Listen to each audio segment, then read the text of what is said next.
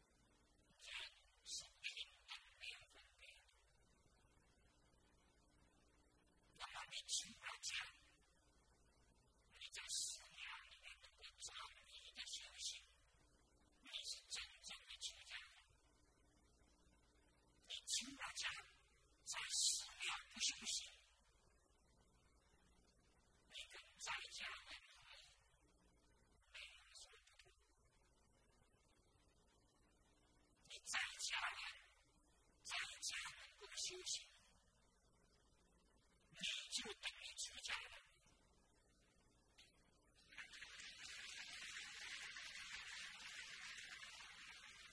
有什么意思？他不分别这个出家在家，出家在家就是一样，出家在家都是一样。现在不是也是一样平等是众生，但是出家为什么会比家人一点？意思在讲，你弘法的理念，你是弘法的概念，你出家了，你将来要传承，可以提供出家人。你是在家人，你没有办法去提供人家出家，这个就是一个传承的问题。出家人可以提供出家人。十年的出家人，他就可以送弟子，提供人出家。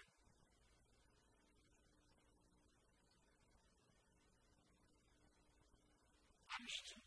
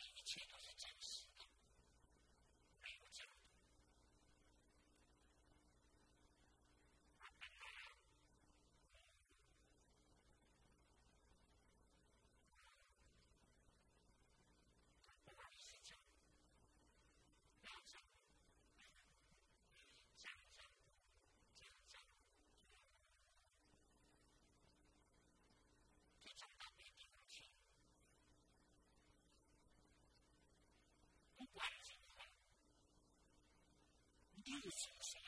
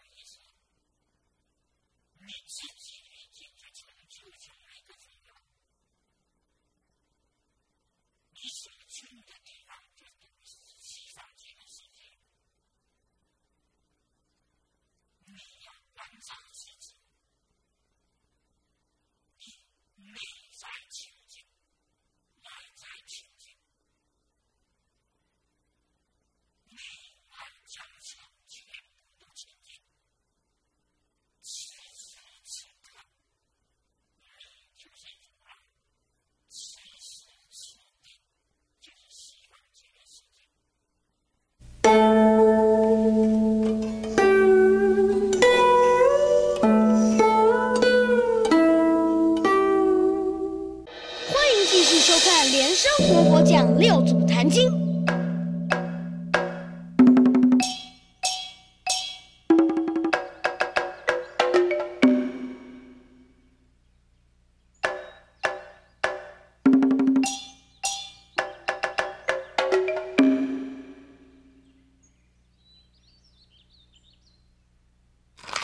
莲生活佛曾说过一个比喻：整个地球上，如果只有你一个人。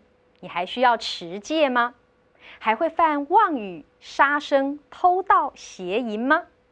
此时什么是善，什么又是恶？这与六祖所说的无相颂又有什么共通之处呢？我们继续来聆听莲生活佛的开示。那么我们今天在讲六祖禅经。那六祖坛经呢？我再读一下经文。六祖说：“勿以大众说无相颂，但依此修。常以物同处无别。若不依此修，剃发出家，一道何益？颂业啊。”这叫无相颂，心平何劳持戒？行止何用修禅？恩则孝养父母，义则上下相邻，让则尊卑和睦。忍则众恶无先。若能转目出佛，以你定生红莲。苦果的是良药，逆耳的必是忠言。改过必生智慧，护短。心内非闲，日用常行扰意，成道非有失前。菩提只向心里逆，何劳向外求贤？听说依此修行。西方只在目前，这个六祖六祖又讲善知识，总悉依计修行，建起自信，直成佛道。实不相待，众人且善，勿归朝夕。众若有疑，切来相问。十刺史官僚，在会善男信女，各得开悟，信受奉行。啊，这是一段经文。那么这段经文很长，如果要仔细解释的话，啊，今天讲到哪里？就说到哪里。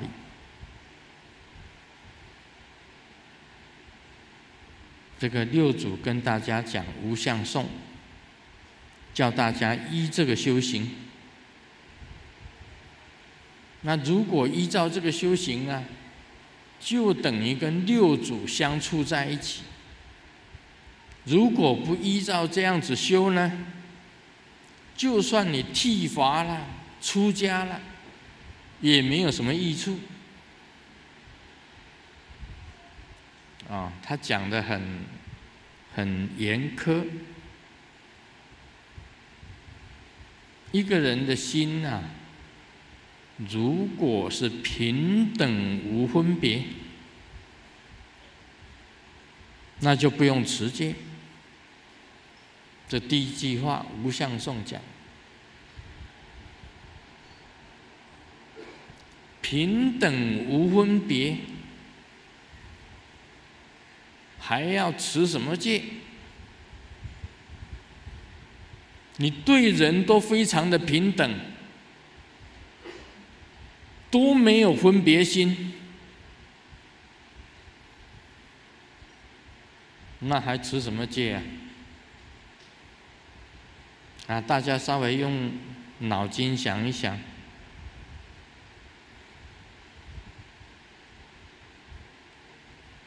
如果你已经做到了平等没有分别，还持什么戒？我举一个比喻了，我以前讲过一个比喻。这个地球上啊，整个地球上，只有你一个人，没有其他的人，其他的人都没有了，只有你一个人。我问你，你持什持什么戒？你还需要持戒吗？不用持戒。你做什么？你也没有害？你也没有人可以害呀。你也不用妄语呀。你也不会杀生啊，只有你一个人呢。你也不用拖道啊，就是你一个人，你还拖什么？你也不用抢劫，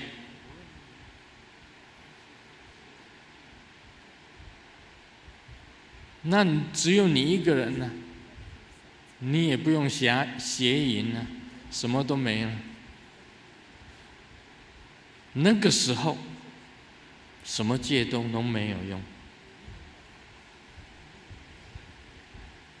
这世界上，你走出去就只有你一个人。什么是善？什么是恶？当这个地球上只有你一个人的时候啊，什么是善？什么是恶？你自己想一想。还持什么戒呢？没有。这个六祖第一句话：“平等无分别，就不用守戒。”为什么要守戒律？是因为你不平等，你有分别，才要守戒律。你说是不是啊？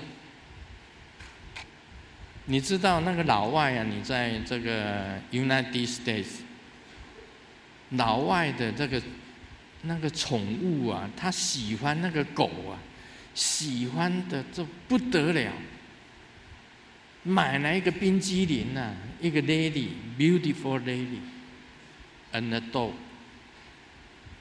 dog，and one ice cream，啊？那 beautiful lady 啊，这个啊，eat the ice cream，然后呢，change dog eat ice cream，然后呢，这个 daddy 啊，这个 eat ice cream，然后呢，dog eat ice cream。他一口啊，他们感情好。那个女生跟狗的感情好到什么程度呢？她吃一口 ice cream，拿就拿一口 ice cream 呢，给狗吃，然后自己再吃，再给狗吃，再自己吃，再给狗吃。没有感情啊！你如果对那一只狗没有感情，它吃一口 ice cream 啊，你敢拿来吃吗？狗吃一口 ice cream，你敢拿来吃吗？这个是有分别的，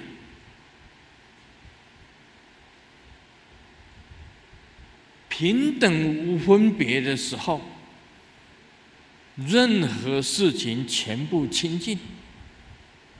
图登达吉上师离开人间的时候，他讲清净。这表示什么？平等无分别。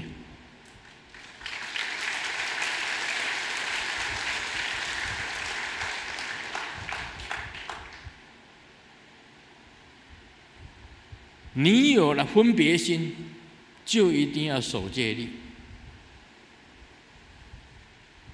你没有平等心，就一定要守戒律。这样子才能够达到心平呢。这一句话很简单，你平等无分别，你根本不用守戒律的，因为你所作所为啊，就是持戒嘛。如果有分别，那就是有清净，有得底，有 clean，有得底，一定的。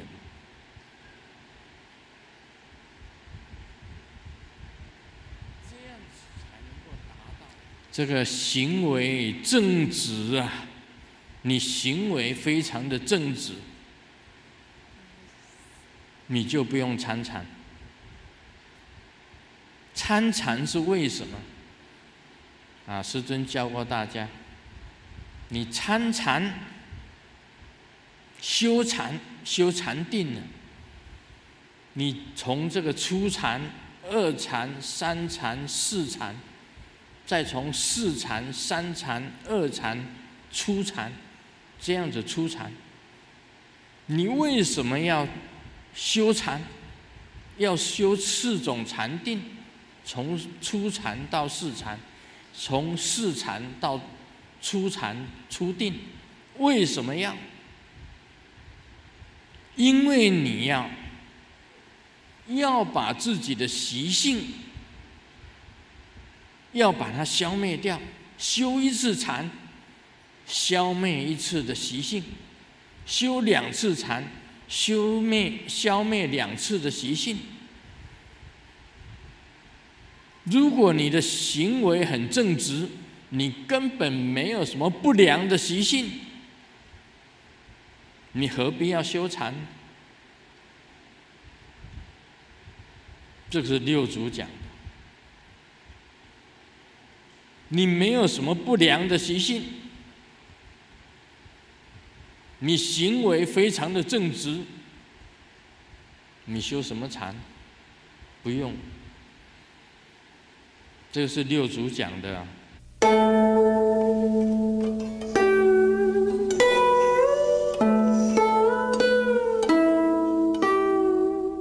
欢迎继续收看《连生活佛讲六祖坛经》。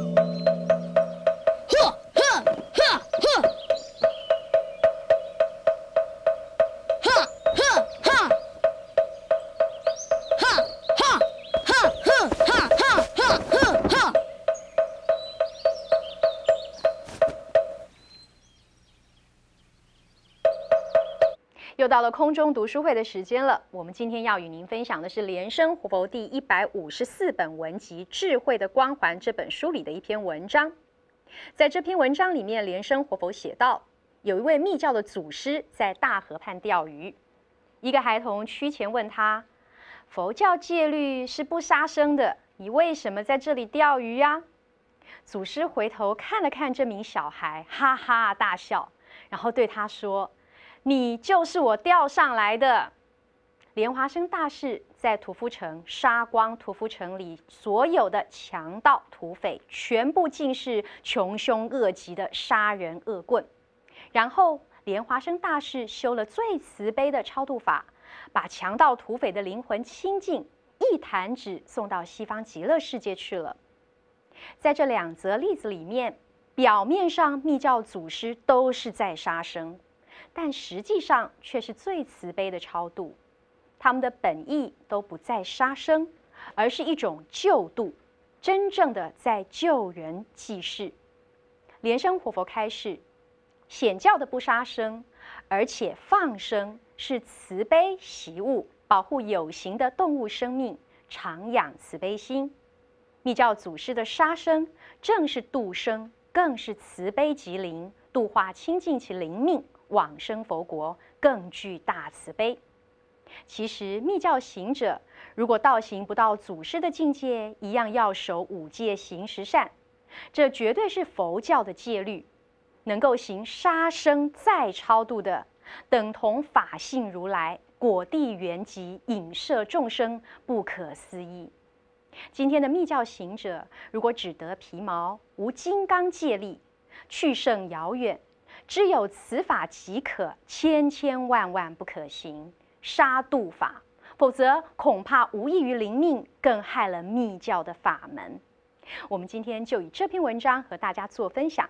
节目的最后，欢迎观众朋友们打电话进来，发财的实战手册《财源滚滚生意经》这本书就免费的送给大家。今天的节目进行到这里，感恩您的收看。明天早上的同一时间，不要忘了继续收看《连生活佛讲密宗道次第广论》。我们明天见。